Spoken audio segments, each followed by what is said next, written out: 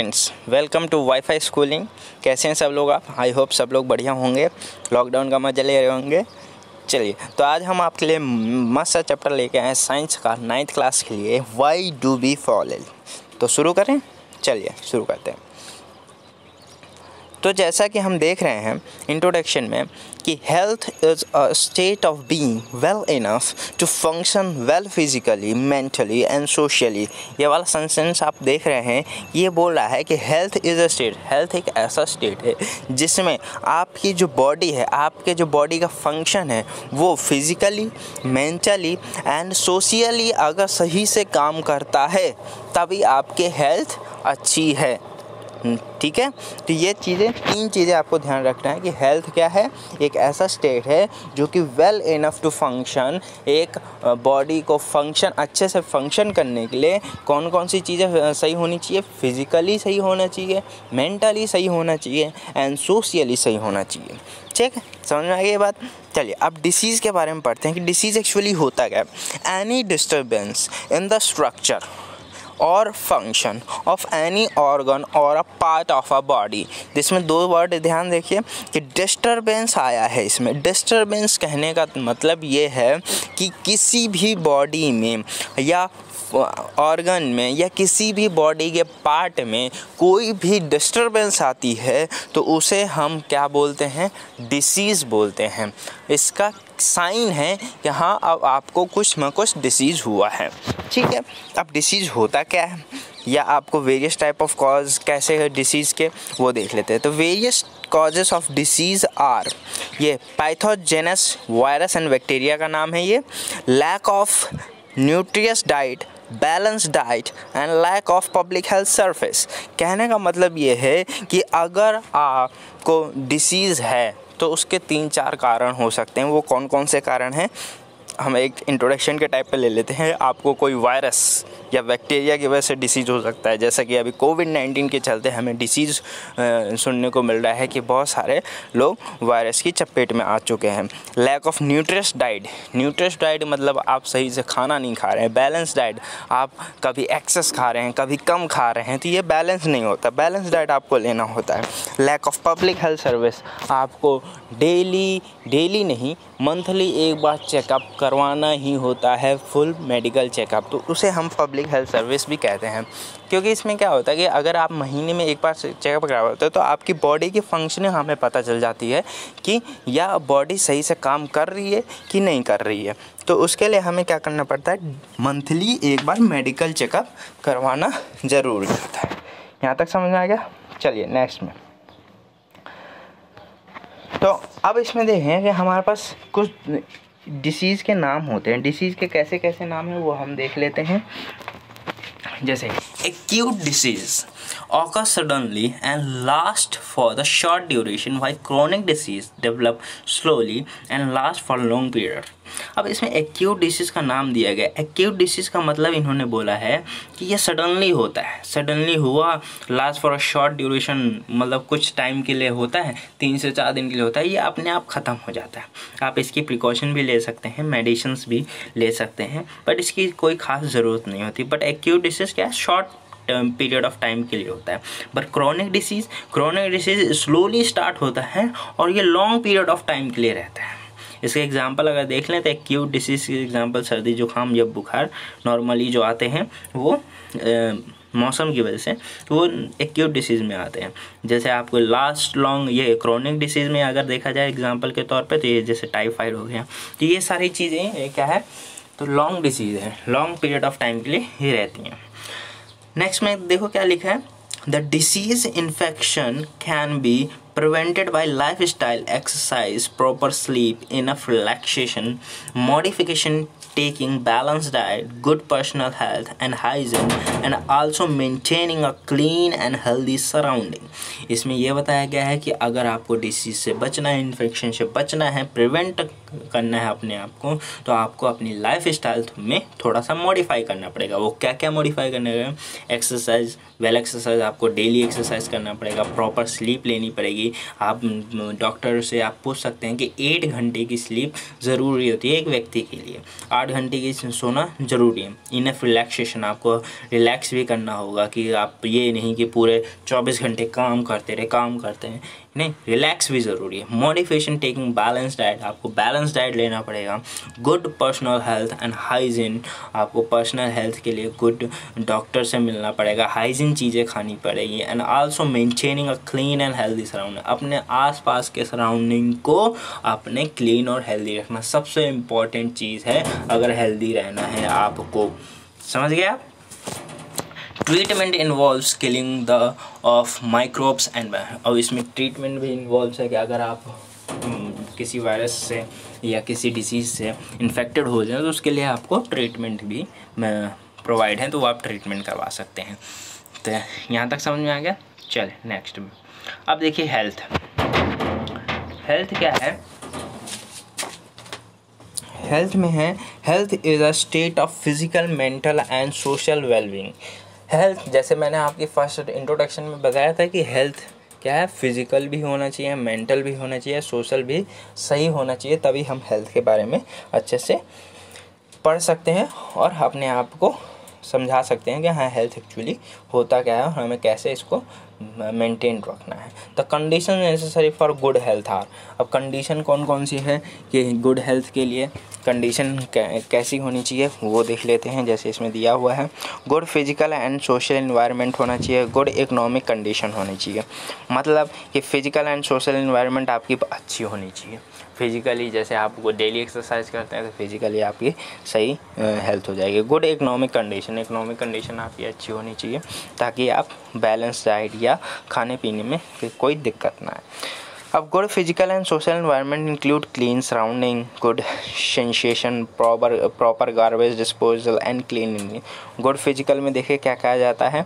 जैसे social environment आ जाता है इंक्लूड क्लीन सराउंडिंग आ जाता है गुड सेंसेशन आ जाता है प्रॉपर गार्बेज डिस्पोजल आ जाता है क्लीन क्लीन ड्रिंकिंग वाटर आ जाता है। तो ये सारी चीज़ें आपको गुड फ़िज़िकल में आ जाता है एंड सोशल इन्वायरमेंट अब इकोनॉमिक कंडीशन में include job opportunity for earning to have a nutrients food and to lead a healthy life कहने का ये मतलब यह है कि अगर आपको इकोनॉमिक कंडीशन अगर अच्छी होती है तो आप अच्छा अच्छा खाना खा सकते हैं साफ़ सुथरा खाना खा सकते हैं। इसके लिए आपकी कंडीशन इकोनॉमिक कंडीशन अच्छी होनी चाहिए। Personal and community issues both matter for health personal और कम्युनिटी इश्यूज़ जो होती हैं, वो हेल्थ को मैटर करती हैं। ठीक है? यहाँ तक समझ में आ गया? चलिए नेक्स्ट अब ये कम्युनिटी हेल्थ होता गया। All those activities which people do both individually and in groups for development of their society constitute the community health इसमें क्या है? कम्युनिटी का डेफिनेशन क्या बताया गया है? कि जितनी भी एक्टिविटीज़ होती हैं, जो कि लोग करते हैं इंडिविजुअल अपने आप के लिए या ग्रुप्स के लिए या कॉलोनी के लिए या सोसाइटी के लिए तो उसको हम क्या बोलते हैं? डेवलपमेंट के लिए तो उसे हम बोलते हैं कम्युनिटी हेल्थ बोलते हैं।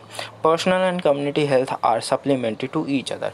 ये हमारे पास सप्लीमेंट्री है, ठीक है? ज़रूरी है। Be protect our self by keeping our body clean अब देखो, हम अपने आप को कैसे सुरक्षित रख सकते हैं? अपने आप को सुरक्षित तभी रख सकते हैं जब हमारी बॉडी क्लीन होगी। For this we also require a good and healthy environment or surrounding अब इसके लिए हमें क्या करना पड़ेगा कि गुड और हेल्दी इन्वायरमेंट की ज़रूरत पड़ेगी। अब ज़रूरत पड़ेगी तो हम ये तो है नहीं कि कहीं से ख़रीद के लेके आए। तो हमें खुद इसको क्लीन और हेल्दी इन्वायरमेंट बनाना पड़ेगा। ठीक है next we can have this only by the means of community health and development अब ये गुड सराउंडिंग हेल्दी इन्वायरमेंट कहाँ से मिलेगा? ये हमारा इधर से मिलता है, जो कि कम्युनिटी हेल्थ क्योंकि ये कम्युनिटी हेल्थ और डेवलपमेंट जो होते हैं, ये इसी के लिए काम करती हैं कि हमारा आसपास का एरिया सराउंडिंग साफ़ सुथरा रहे। So both personal and community health are interrelated इसलिए पर्सनल और कम्युनिटी हेल्थ जो होता है, वो एक दूसरे से इंटर रिलेटेड होता है। यहाँ तक समझ में आ गया? चलिए नेक्स्ट अब देखिए, इसमें दिया हुआ है difference between being healthy and disease free अब difference between being healthy and disease free मतलब बीइंग हेल्दी रहना और डिसीज़ फ्री में क्या फ़र्क है, वो हम पढ़ लेते हैं। Being healthy it is a state of being well enough to function well physically mentally and socially जैसे मैंने आपको बताया था फ़र्स्ट फ़र्स्ट पेज में ही बताया था कि अगर आपको हेल्दी रहना है तो you have to well function physically भी आपका फ़ंक्शन अच्छा होना चाहिए मेंटली फ़ंक्शन अच्छा होना चाहिए एंड सोशली भी.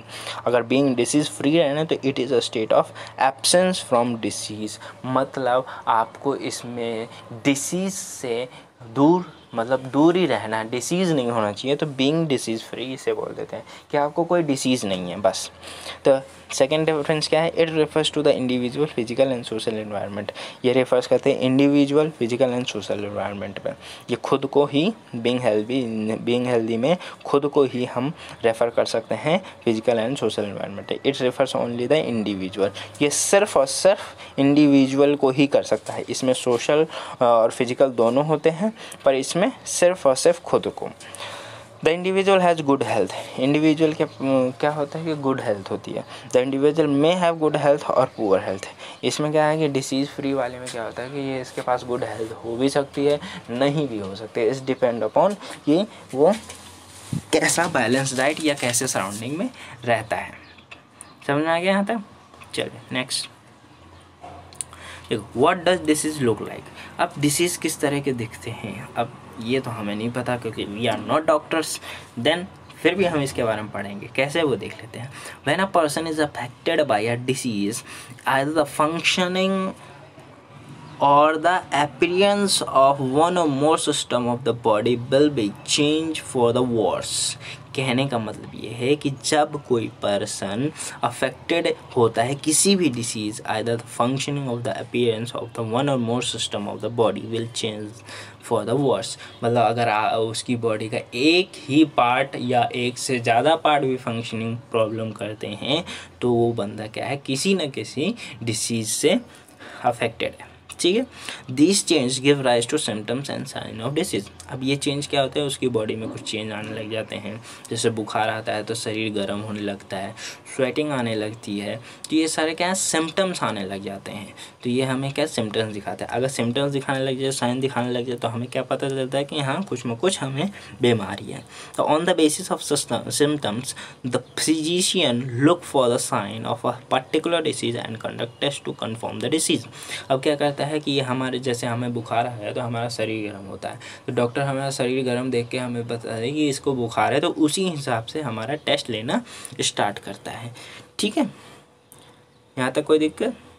चलिए नेक्स्ट नेक्स्ट में देखा है टाइप्स ऑफ़ डिसीज़ अब दो टाइप्स की डिसीज़ होते हैं, जैसे मैंने पहले भी बताया था acute disease and chronic disease acute disease में क्या है कि ये होता है कि which last for only very short period of time and affect body suddenly and quickly ये क्या होता है कि बहुत ही जल्दी मतलब इतनी जल्दी आता है और जल्दी चला भी जाता है। सडनली और क्विकली अफेक्ट करता है। जैसे एग्जांपल देख ले कोल्ड कफ टाइफाइड ये सब क्या है? क्यू डिसीज़ है। क्रॉनिक डिसीज में the disease which last for long time even as much as life time are called chronic disease आप एक बात ध्यान दीजिए, मैंने पीछे एक बार क्रॉनिक डिसीज़ एक्यूट डिसीज़ का एग्ज़ाम्पल टाइफाइड बोल दिया था। सॉरी उसके लिए। टाइफाइड एक्चुअली एक्यूट डिसीज़ में आता है। ठीक है? तो क्रॉनिक डिसीज में क्या है कि ये बोला गया था कि the disease which last for a long time even as much as the life time मतलब ये ज़िंदगी भर के लिए भी हो सकता है, उसे हम क्या बोलते हैं? क्रॉनिक डिसीज बोलते हैं। एक एग्जांपल है डायबिटीज़ डायबिटीज़ पूरी ज़िंदगी भर के लिए होता है। ट्यूबर क्लॉसिस ज़िंदगी भर के लिए होता है। एलिफेंटेसिस तो ये भी ज़िंदगी भर के लिए होता है। तो ये सारे क्या हैं? क्रॉनिक डिसीज़ के एग्ज़ाम्पल हैं। चलिए next micro organisms micro organisms की वजह से अब कौन कौन सी बीमारीज होती हैं, वो हम देख लेते हैं एक टेबल के हिसाब से। जैसे वायरसेस वायरसेस के बाद कॉमन कोल्ड हो सकता है इन्फ्लुएंजा हो सकता है मिस मियासेलेस हो सकता है चिकन पॉक्स हो सकता है ईट्स हेपेटाइटिस बी एक्सेट्रा ये सारी क्या है वायरसेस की वजह से होता है। अगर किसी एक को हुआ तो वो जैसे कॉमन कोल्ड कॉमन कोल्ड हम जैसे एक को होता है तो उस, अगर स्नीजिंग अगर उसने हैंकी या रुमाल नहीं रख रखी है तो स्नीज करता है तो उसकी वजह से आसपास वाले लोगों को भी हो जाता है। तो ये वायरस की वजह से होता है। Bacteria cholera typhoid tuberculosis फिर T B tetanus anthrax food poisoning ये सब क्या है? बैक्टीरिया की वजह से होता है। जैसे fungi skin infection skin infection किसकी वजह से होता है? फंगी प्रोटोजोआ प्रोटोजोआ में जैसे मलेरिया काला आजार एम्बियाबैक ये स्लीपिंग सिकनेस एक्सेट्रा ये जितने भी चीज़ चीज़ें हैं, ये प्रोटोजोआ की वजह से होते हैं। वॉर्म्स वॉर्म्स हैं इंटेस्टियल इन्फेक्शन एलिफेंटाइटिस ये जितनी भी चीज़ें हैं, वो वॉर्म्स की वजह से होती हैं। ये टेबल आप ज़रूर याद कर लें। ठीक है? यहाँ तक हो गया। चलिए, आज के लिए बस इतना ही। धन्यवाद। कोई भी आपको डाउट हो तो कमेंट बॉक्स पे आप कमेंट कर सकते हैं। हम आपका डाउट करने की पूरी कोशिश करेंगे। धन्यवाद।